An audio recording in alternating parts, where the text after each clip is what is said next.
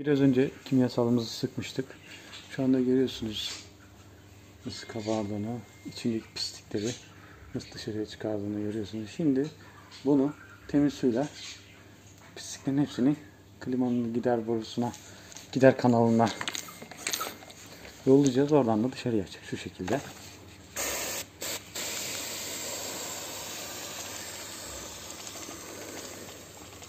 Bir kısmı tabii ki de dışarıya akabilir ama sorun değil sonuçta. Brandamız olduğu için. Böyle.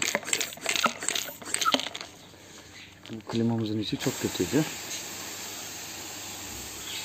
Videomuzu durduracağım. Bu komple köpükler bittikten sonraki halini tekrar size göstereceğim.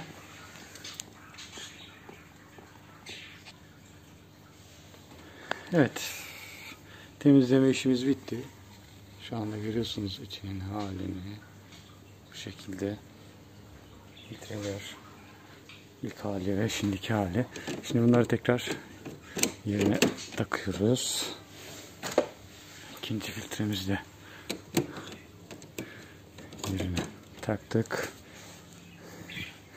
Şimdilik Biliyorsunuz bakın akan, buralardan akan, sağa sola akan bütün su buraya dökülüyor. Hiçbir müşterimizin duvarında, herhangi hiçbir yerinde su izi, leke izi hiçbir şey olmuyor. Bazı müşterilerim çünkü tereddütte oluyor. Klima bakımı yaptıracağım ama işte etraf çok batıyor. Hayır eğer böyle klima çadırı olursa hiçbir şekilde batmaz. Evet filtrelerimizi taktık.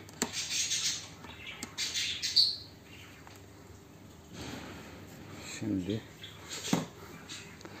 cihazımızın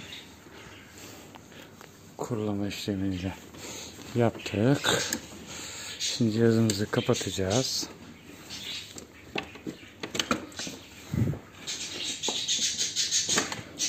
şekilde.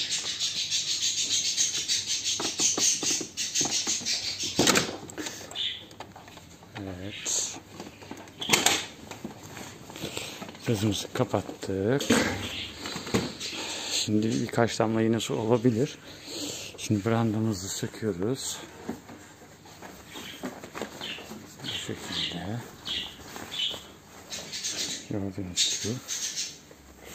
Bu şekilde. Şimdi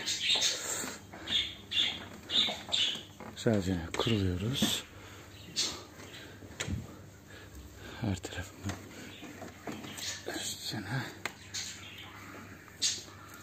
Bu şekilde klima bakımı bu şekilde yapıyoruz. Ustam servise 0212 472 99 99 numaralardan ulaşabilirsiniz.